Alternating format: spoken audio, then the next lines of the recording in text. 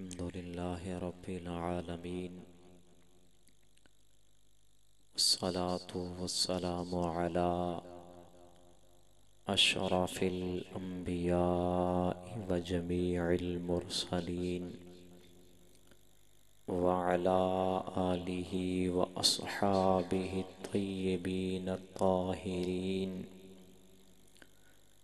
तय्यबीन ताहिरीन अम्मा बअदु फ़अऊज़ु बिल्लाहि मिनश्शैतानिर्रजीम बिस्मिल्लाहिर्रहमानिर्रहीम क़ाल अल्लाहु तबारक व तआला फ़िल क़ुरआनिल मजीद वल फ़ुरक़ानिल हमीद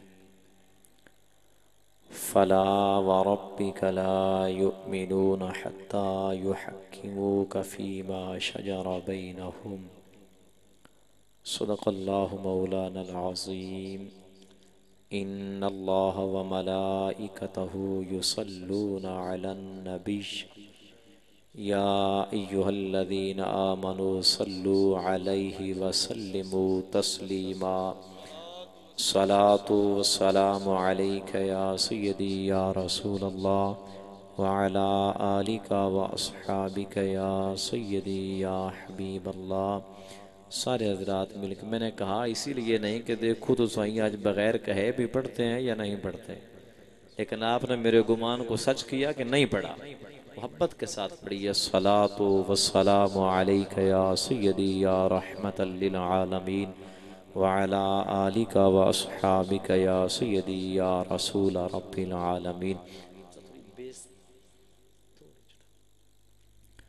हज़रत गिरामी कदर मैं और आप हजरात आज की इस महफिल में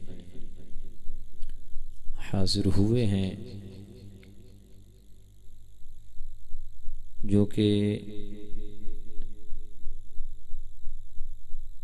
योम रज़ा के सिलसिला में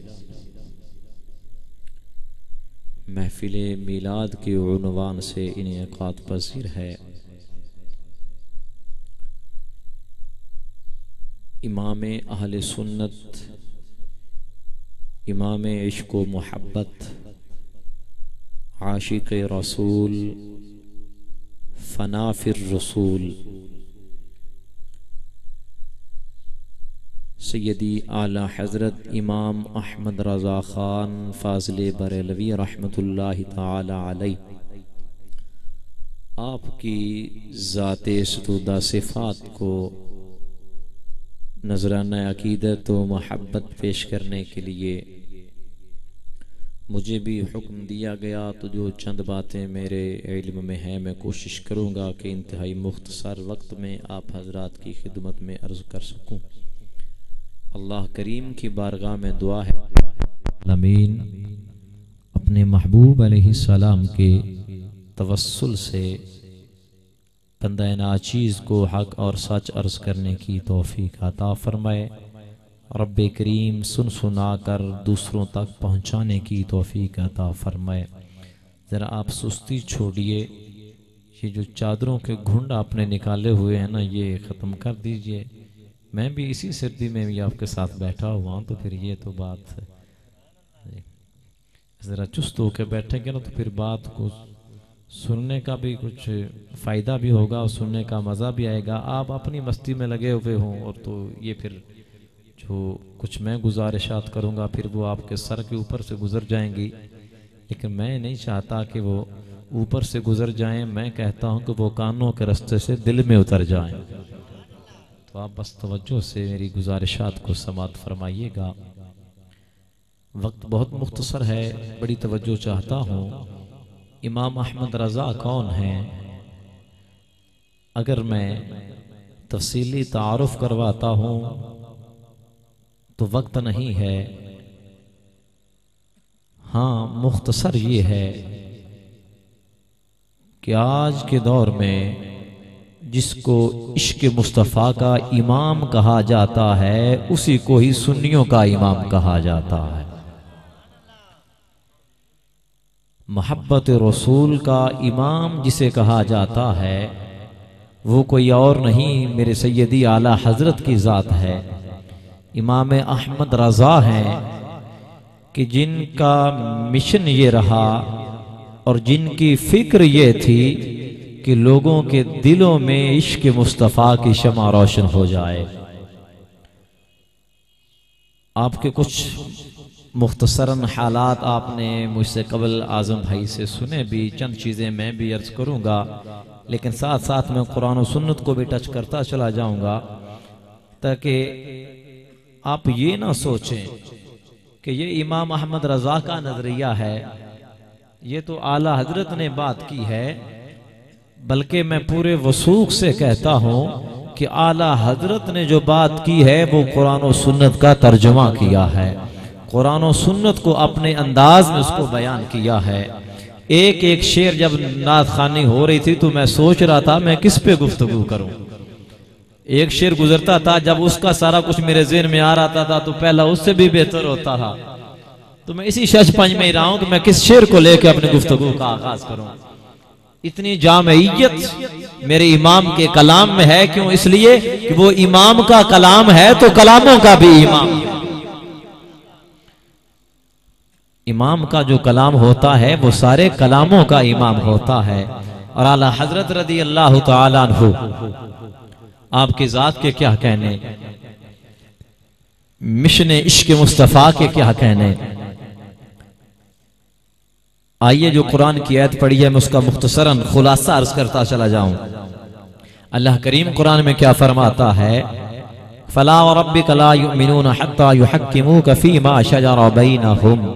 क्या प्यारे महबूब सल्लल्लाहु अलैहि वसल्लम, उतनी देर तक ये कायनात वाले ये लोग उतनी देर तक मोमिन नहीं हो सकते, जब तक आपको अपना हाकिम न मान लें, अपना बादशाह न मान लें, उतनी देर तक ये मोमिन नहीं हो सकते। फला व रब्बी का अब इसका अगर मैं तर्जुमा करूँगा अगर मैं इसकी लज्जत में उतर जाऊँगा ना तो बात भी लंबी हो जाएगी और अल्लाह का ज़िक्र भी नहीं हो पाएगा।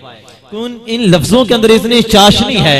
इन लफ्जों के अंदर इतना इश्क मुस्तफ़ा रब ने बयान फरमाया है। अपने महबूब की इतनी मोहब्बत को समेट कर रब ने इस एक जुमले में रख दिया है ना। फलावा रब बेका अल्लाह फरमाता है कि, महबूब, मुझे तेरे रब की कसम। अब अहले जौक जानते हैं, अहले शौक जानते हैं कि इन जुमलों के अंदर रब ने क्या बयान फरमा दिया है। रब तो सारी कायनात का वो है, जमीनों का पैदा करने वाला भी वो है, आसमानों का पैदा करने वाला भी वो है, जानवरों की तखलीकात को मार्ज वजूद में लाने वाला भी वही है, सारी कायनात को आदम से वजूद बख्शने वाला भी वही है अम्बियाई कराम का खाले को मालक भी वही है, रसूलों का भी खाले को मालक भी वही है, जन्नतों को पैदा करने वाला वाला भी वही है। जन्नत की नेमतों को वजूद अता करने वाला भी वही है। लेकिन जब महबूब से कलाम की बारी आती है तो अल्लाह ने यह नहीं फरमाया कि प्यारे महबूब, मुझे खाली की आदम की कसम है मुझे खाले के इब्राहिम की कसम है मुझे खाले के ईसा की कसम है मुझे खाले के मूसा की कसम है मुझे जन्नतों के रब की कसम है या मुझे हूरों को पैदा करने वाले की कसम। है अरे रब तो सबका वही है, पर जब कसम उठाने की बारी आती है तो रब क्या फरमाता है कि प्यारे महबूब, कायनात सबको मैंने पिया, पैदा किया है। आलमीन तमाम को मैंने पैदा किया है। पर जो मेरी कुदरत का शाहकार है ना, उसे मोहम्मद मुस्तफ़ा कहा जाता है। तो रब क्या कहता है? फलाह व रब्बे का। महबूब प्यारे, मुझे किसी और का नहीं, तेरा रब होने पे नाज है। मुझे तेरा रब होने पे फख्र है। मैं नाज करता हूँ तो तेरा रब होने पे नाज करता हूँ। फलाह व रब्बे का महबूब प्यारे, मुझे तेरे रब की कसम। प्यारे महबूब, मुझे तेरे रब की कसम है। अब रब तो आदम सलाम का भी हुई है। रब तो इस्माइल सलाम का भी हुई है। रब तो जनाब खलील सलाम का भी हुई है। रब तो तमाम अम्बिया कराम और उजाम का भी हुई है। लेकिन जब कसम उठाई है ना, अगर आप कुरान को पढ़कर देखें कुतुब हदीस को पढ़कर देखें तो कहीं भी अल्लाह करीम ने किसी भी आसमानी किताब में, जहाँ तक मेरा नॉलेज है, किसी भी नबी इस्लाम को अल्लाह ने यह नहीं फरमाया कि इब्राहिम मुझे तेरे रब की कसम है, ए आदम मुझे तेरे रब की कसम है, ए मूसा मुझे तेरे रब की कसम है। कहीं पे भी ये नहीं फरमाया, ये फरमाया है तो अपने महबूब से फरमाया है कि प्यारे महबूब, मुझे तेरे रब की कसम है। तो यहाँ पर जो मसला साबित होता है वो ये है कि जब रब ताला की शान बयान करनी हो ना तो उसके प्यारे महबूब के हवाले से बयान करनी चाहिए। रब ताला की शान बयान करने लोग बैठ जाए ना तो ये नहीं कि अल्लाह ताला वो है जिसने छोटी सी मक्खी को पैदा फरमा दिया, अल्लाह ताला वो है जिसने छोटी सी चींटी को पैदा फरमा दिया, अल्लाह ताला वो है जिसने कव्वे को ये रब ताला की तू कौन सी शान बयान कर रहा है? अरे रब की शान बयान करनी है तो यूँ कर कि रब ताला वो हमारा रब है जिसने अपने प्यारे महबूब और शाहकार कुदरत को पैदा फरमा दिया, नबियों के सरदार को पैदा फरमा दिया, रसूलों के सालार को पैदा खुदा की शान तो ये है। उलमा ने यहाँ तक लिखा है, अरे जब रब की शान बयान करनी हो ना तो आला चीज़ों की नस्बत से रब की शान बयान करनी चाहिए। अगर कोई बंदा ये कहता है ना कि खालिक कायनात के बारे में ये कहता है या ये बोलता है कि वो खालिक खंजीर है नौज बिल्ला का ऐसी बातों की नस्बत, अब बात तो सच्ची है। बात तो सच्ची है। मक्खी को भी रब ने पैदा किया है, कुत्ते को भी रब ने पैदा किया है, खंजीर को भी रब ने पैदा किया है। इन चीज़ों के जो कसरत से मिसालें देकर वाज करते हैं, उनको भी रब ने ही पैदा किया है। पैदा करने वाला तो रब ही है सबका। लेकिन ओलमा ने कुफर का फतवा दिया है यहाँ पे। कुफर का फतवा दिया है यहाँ पे। अरे इसलिए कि हकीर चीज़ का नाम लेकर रब की शान बयान नहीं करनी चाहिए। जो खुदा की कुदरत का शाहकार होता है, उसका नेम ले नाम लेकर खुदा की शान बयान करनी चाहिए। और ये अल्लाह ताला की सुन्नत है, फलावा रब्बे का। महबूब प्यारे, मुझे तेरे रब की कसम है। आगे इस बात को बयान किया जा रहा है, वो कौन सी है? फलाव रबी कला मिनून हबीब प्यारे, एक होता है, हम कहते हैं, पंजाबी ज़ुबान में कह लेते हैं, यार कोई प्यारा हो ना, अज़ीज़ हो तो हम उसे कह लेते हैं, यार मुझे तेरी कसम, या मुझे तेरे सर की कसम, या हम कुरान की कसम उठा लेते हैं। रखा यू हमने इसलिए घरों में पढ़ना तो हमने नहीं होता। या हम खुदा की कसम उठा लेते हैं, मस्जिद में जाकर कसमें उठा लेते हैं। क्यों? इसलिए बात में वज़न पैदा करने के लिए, अपनी बात को जो शक होता है उसको जायल करने के लिए, बात को यकीनी बनाने के लिए हम कसम उठाते हैं। लेकिन जब रब ताला किसी बात को बयान करता है तो वो पहले ही शक से पाक होती है। उसमें शक की कोई गुंजाइश ही नहीं होती। लेकिन यहाँ पर चूँकि मामला अल्लाह के महबूब की शान का था, मामला रब के महबूब के मकाम का था तो पहले रब ने अपनी ही कसम उठाई।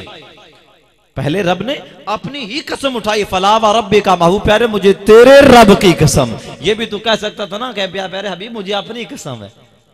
मुझे अपनी कसम है। अपना भी ज़िक्र किया तो रब ने अपने महबूब के हवाले से किया है। अपने महबूब की निस्बत से किया है कि, प्यारे, मैं तेरे रब होने पे भी नाज करता हूँ कि मैं तेरा रब हूँ। मैं तेरा खालिक हूँ। मुझे इस पे भी नाज है।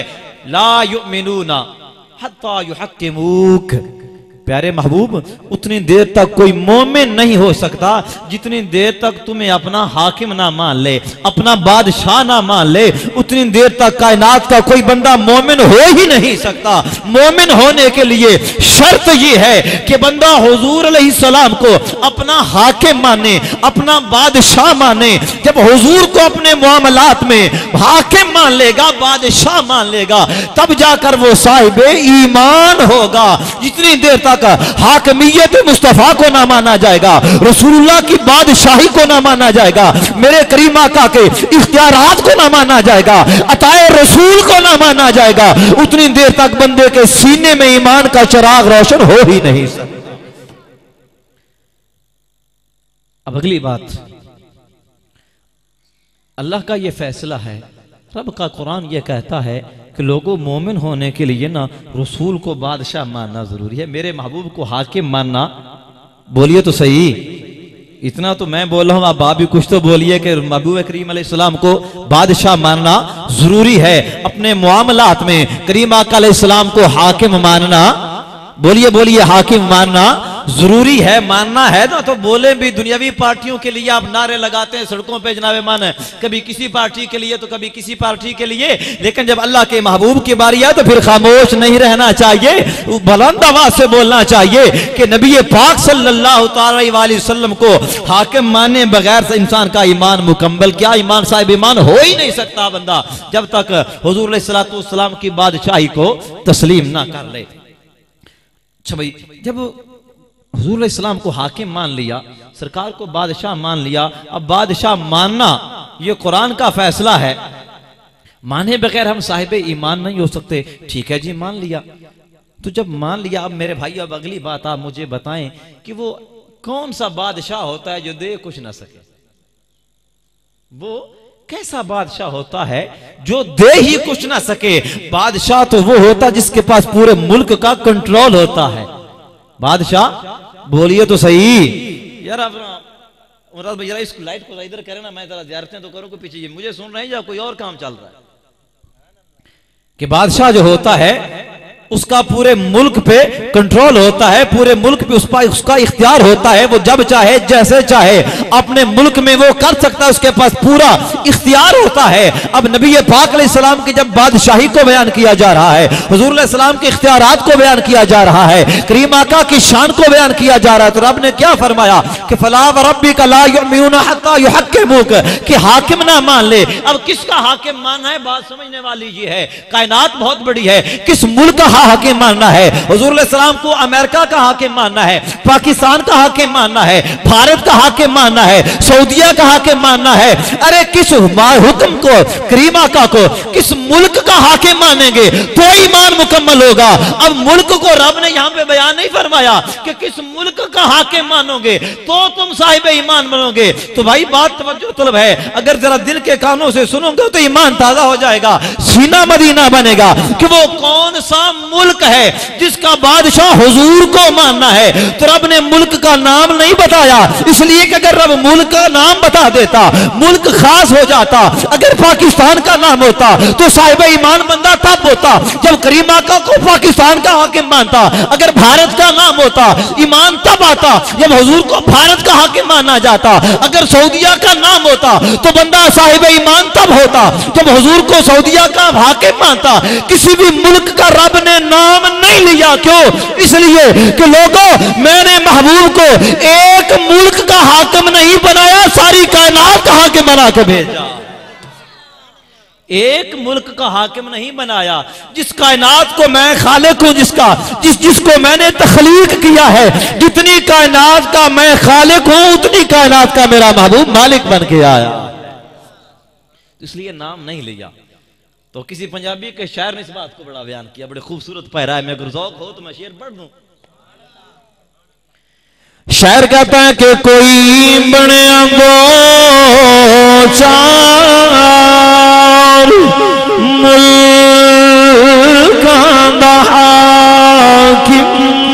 कोई बने गो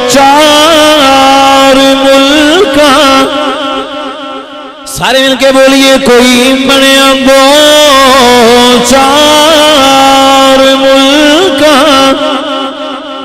अभी तक भी सबकी आवाज़ नहीं, मोहब्बत के साथ बोलिएगा, कोई बने दो चार मुल्क। सारे भी पीछे वाले भी बोले, वरना बात बड़ी लंबी हो जाएगी, मोहब्बत अगर आज पढ़ेंगे तो मैं जल्दी बात को समेटने की भी कोशिश करूँगा। सीने का ज़ोर लगा के बोलिए, कोई बने दो चार किम कोई बने दो चार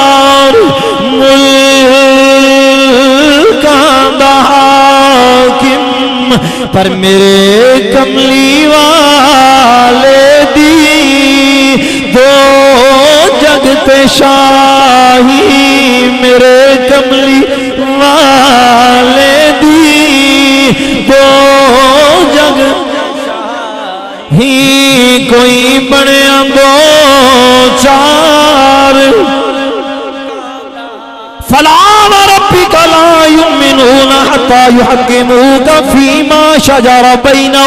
अल्लाह क्या फरमाता कि प्यारे महबूब उतनी देर तक कोई भी बंदा साहिब ईमान नहीं हो सकता जब तक प्यारे महबूब तुझे अपना हाकिम ना तस्लीम कर ले जिस जिस चीज़ का मैं खालिक हूँ मैंने तुझे हर उस चीज़ का मालिक बना कर भेजा का मैं खालिक, उसका मैंने तुझे मालिक बनाकर भेजा है। तो अहले सुन्नत का नज़रिया क्या है कि खालिक रब है और मालिक कमली वाले आका सल्लल्लाहु अलैहि वसल्लम हैं। अब कुरान की इस आयत को पेश नज़र रख के आला हज़रत के एक जुमले को ले।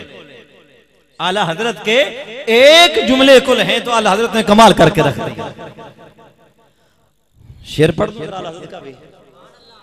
आप फरमाते हैं कि मैं तो मालिक ही। हाय हाय अल्लाह अकबर। मैं तो मालिक ही। कहूँगा के हो मालिक के हबीब। मैं तो मालिक ही, मालिक मैं तो मालिक कहूँगा के हो मालिक, के हबीब। अरे यानी महबूबो, मुहिब में नहीं मेरा, तेरा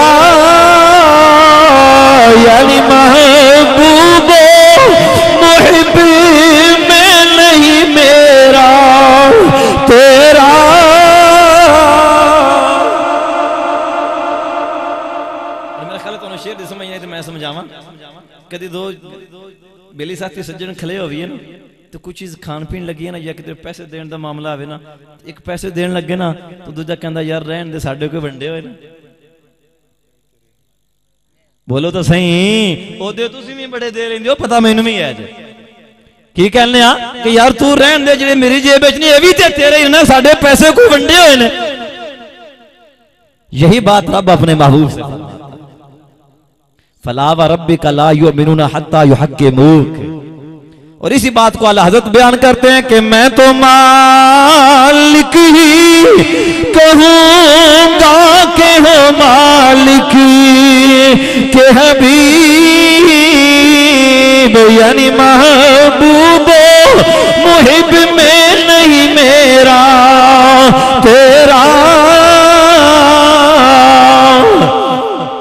कुर्बान जाऊँ, ये अल्लाह हज़रत के कलाम है कि एक एक शेर जो ये अल्लाह के कुरान का तर्जुमा है, या नबी पाक सल्लल्लाहु अलैहि वसल्लम की हदीस का तर्जुमा है। अब देखें, जरा एक और शेर को टच करते अब तफसील का वक्त नहीं है, दाम टाइम तकरीबन खत्म होने को पाँच सात मिनट मेरे बाकी हैं और उसके अंदर मैंने एक बात आपको अर्ज़ किए देता हूँ, और कुर्बान जाए अल्लाह हज़रत के कलम पर कि आपने इश्क रसूल का पैगाम क्या दिया। है करीमा का सलाम जब गए ना मेराज पर अल्लाह की बारगाह में हाजिर हुए। कहा हाजिर हुए? बोलिए तो सही। अल्लाह की बारगाह में हाजिर हुए नबी पाक सल्लल्लाहु अलैहि वसल्लम। खालिक कायनात की बारगाह में जब अल्लाह करीम ने अपने महबूब करीम सलाम को बुलाया अपनी बारगाह के अंदर। अल्लाह अकबर कबीरा। तो सरकार करीम सलाम की रब ताला की बारगाह में हाजिरी हुई। अब वहाँ पर अगर हम तस्वर में भी जाएँ तो वहाँ जा नहीं सकते। वहाँ पर हालात क्या थे, मामलात क्या थे, ये खुदा जानता है या मुस्तफ़ा जानता है? वहाँ पर तो जबरील इस्लाम भी पीछे रह गए थे। अब हुआ क्या? अब वहाँ ला मकानों पे। वैसे हकीकत तो ये कि ये ला मकान भी नाम नहीं है उसका। ये भी समझाने के लिए, अब इसके अलावा और कोई लफ्ज नहीं है जो बोला जा सके। वरना उसका नाम ला मकान भी नहीं है। वो तो बस एक अलग ही जगह है जहाँ खुदा और मुस्तफ़ा की मुलाकात होती है ना तो रब ताला अपने महबूब को जो अता फरमाता है, महबूब लेते हैं। अब वहाँ पर पास कोई देखने वाला नहीं है कि खुदा अपने महबूब को दे क्या रहा है और महबूब अपने खुदा से ले क्या रहा है। अब ये देखने वाला कोई नहीं है। जबरील, कुरान मजीद में अल्लाह तबारक वाली ने जब महबूब करीम के मेराज की वापसी को बयान किया ना, फिर अल्लाह तबारक वाली क्या फरमाता है?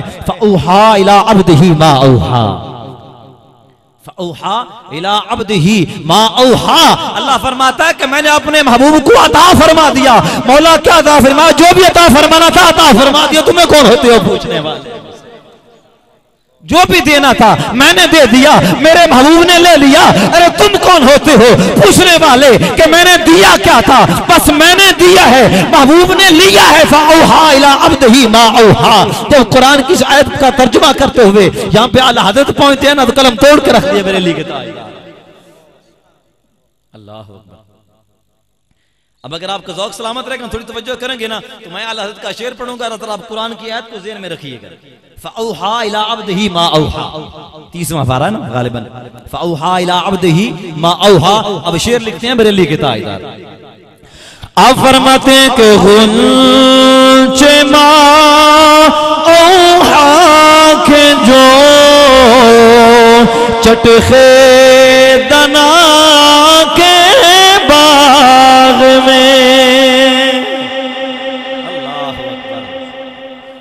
गुंचे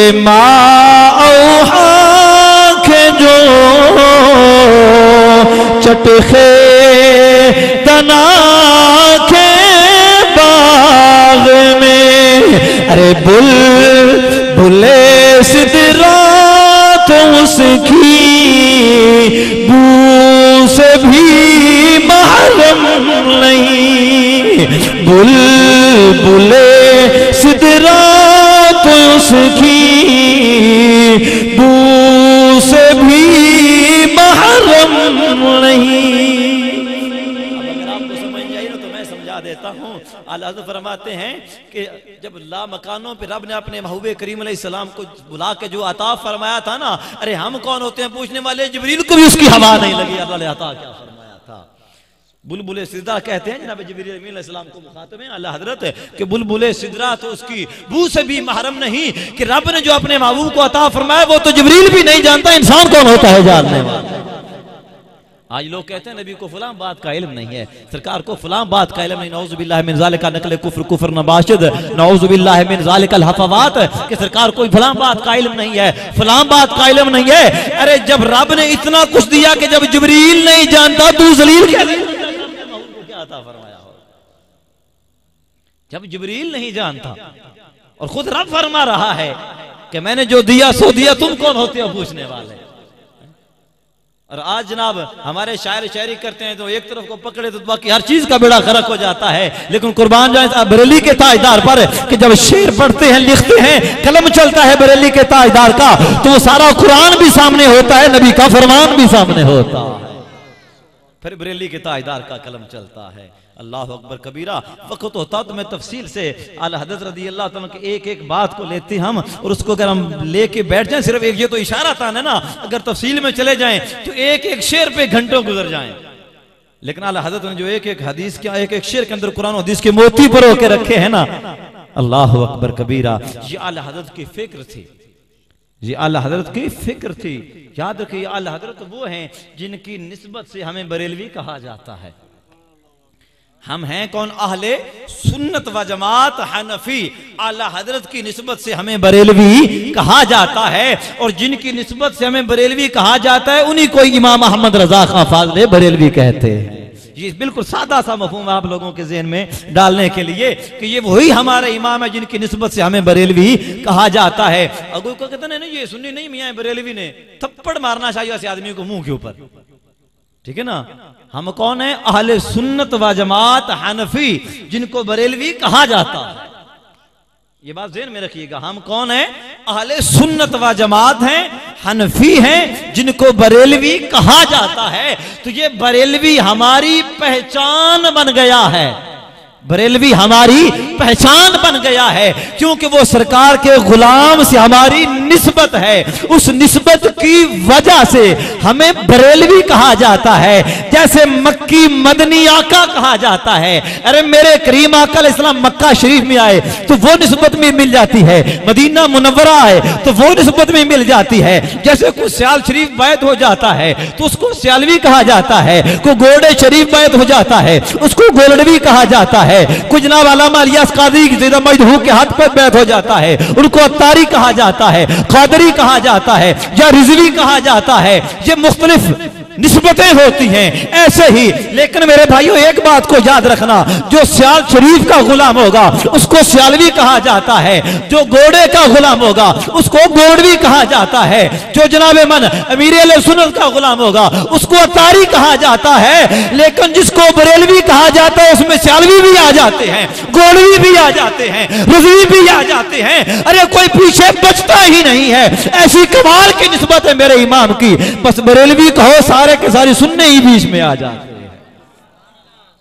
जी, आला हज़रत को जो अल्लाह तबारक बताल ने मकाम दिया है, ये सारा महबूब की निस्बत का सदका दिया है। कभी इंशाल्लाह ताला मौका मिला ना तो हम तफसील से बात करेंगे। मेरे भाइयों, बुज़ुर्गों, बिलखसूस नौजवान साथियों, इस बात को जेन में रखिएगा कि सैदी आला हज़रत वो हैं जिन्होंने ज़िंदगी बारिश के मुस्तफ़ा का पैगाम दिया है। नबी पाक सलाम की इज़्ज़त का दिफा किया है, नमू से मुस्तफ़ा पर पहरा दिया है, और अपनी इज्जतों को लुटा के भी नबी की इज़्ज़त का दिफा किया वो खत आपको इशारा था मैं अर्ज़ कर देता हूँ ना कि जब आपकी खिदमत में अर्ज़ किया गया था कि ज़रूर लोग जो हैं वो एक खत आया, उसमें बड़ी गाली गलोच लिखी हुई थी सैदी आला हज़रत रदी अल्लाह ताला को। किसी मुखालिफ ने खत लिखा था और उसमें जनाब उसने बड़ी गालियाँ लिखी हुई थी। मुखालिफ था आपके, बहुत कुछ उसने आला हज़रत रदी अल्लाह ताला के शान में हर्ज सराई की थी। और एक साथी ने भी अर्ज़ किया कि ज़रूर ये बात लोग आपके खिलाफ बोलते हैं जबान तान आपके शान में दराज करते हैं। तो आपने फरमाया कि मैं अल्लाह का शुक्र अदा करता हूँ, जितनी देर तक मेरे खिलाफ बोलते हैं, मेरे नबी की इज़्ज़त तो महफूज रहती है ना। तो मुझे गालियाँ देते हैं तो देते रहे। ये अहमद रजा को कबूल है, पर कोई नबी के खिलाफ बोले, ये अहमद रजा की गैरत कभी भी गवारा नहीं कर सकता। ये थे हमारे इमाम सुन्नत, जिनको इमाम मोहम्मद रजा खां फाजल बरेलवी रहमत कहा जाता है, अरे कुरान का तर्जमा किया तो कमाल करके रख दिया, हदीस की तरफ़ आए तो दरिया बहा के रख दिए शारी की तरफ़ आए तो सिक्के बिठा के रख दिए। अल्लाह अकबर कबीरा, एक होते हैं शागिर्द जिन पे आखिरी बात अर्ज़ करता हूँ, जिन पे उस्ताज को नाज होता है। एक होते हैं मुरीद, जिन पे पीर को नाज होता है। लेकिन कुर्बान जाए बरेली के ताजदार पर, जब हाजिर हुए हैं ना, सन 1870 में, मारहरा शरीफ में शाह आल रसूल रहमत की खिदमत में आला हज़रत अपने पीरो मुर्शद के पास बायत होने के लिए जाते हैं ना, और वहाँ पर पीर के हाथ में हाथ देते हैं। मारहरा शरीफ इंडिया के अंदर आस्थाना है। वहाँ पर जब आल जाकर बायत होते हैं ना, जब बायत करते साथ ही जो पीरे कामिर जुमला शाद फरमाते हैं, वो सुनिए, उसी के साथ ही गुफ्तगु को समेट लेते हैं। आप बायत होते हैं अपने शेख कामिल के हाथ में हाथ देते हैं ना तो शेख कामिल शाह आल रसूल महारा रवि रहमत फरमाते हैं फरमाते हैं कि लोगों, आज मेरी बड़ी परेशानी खत्म हो गई है। मैं एक फ़िक्र में रहा करता था, आज मेरी वो फ़िक्र खत्म हो गई है। मैं एक परेशानी में मुबतला रहता था, एक बात को सोचता रहता था, आज सब परेशानियाँ खत्म होकर रह गई हैं। गुलाम के हजूर कौन थी? फरमाया, मैं ये सोचता था कि जब क्यामत का दिन होगा ना, जब मैं अल्लाह की बारगाह में जाऊँगा तो रब ताला पूछेगा कि आले रसूल, बता था। मैंने तुझे दुनिया में भेजा था। तुझे मैंने इज्जतें भी दी थी, शाने भी दी थी, मकाम भी दिया था, अपने महबूब की निस्बत भी दी थी। तू क्या लेके आया मेरे लिए? तो मैं सोचता ही रहता था कि मैं रब की बारगाह में क्या लेके आऊँ। लेकिन आज जब इस अहमद रजा को मैंने बैत किया है ना तो मेरी वो परेशानी खत्म हो गई है। जब क्यामत रब पूछेगा ना, क्या लेके आया? मैं मौला अहमद रजा को लेके मैं क्यामत के रब की बारगाह में सुनूँगा कि मौला, मैं अपने साथ अहमद रजा को लेके आया हूँ तो मैं फख्र के साथ रब की बारगाह में अपने मुरीद अहमद रजा को पेश करूँगा। ये वो हस्ती थे जिन पे पूरा मसलक भी नाज करता है, जिन पे फिर मुर्शद भी नाज किया करते थे। अल्लाह तबारक वाली की बारगाह में दुआ है रबालमीन सदका महबूब करीम सलाम का जो कुछ सुना सुनाया हमें इसको समझने की और इसको दूसरों तक पहुँचाने की तोफ़ी अता फरमाए। रब करीम हमें इश्क मुस्तफ़ा की शमा को दूसरों तक भी उनके सीनों में भी रोशन करने की तोफ़ी अता फरमाए। महबूब करीम की सच्ची और सुच्ची गुलामी नसीब फरमाए। अल्लाह ताला महबूब करीम सलाम की हर नस्बत का अदब और एहतराम करने की तोफ़ी अता फरमाए। मुझसे किसी भी किस्म की कोई लफ्जी या मानवी गलती हुई हो तो अल्लाह ताला मैं गुनागार को उसकी माफ़ी अता फरमाए। व आखिर दावाया अलहमदिल्ला रबालमी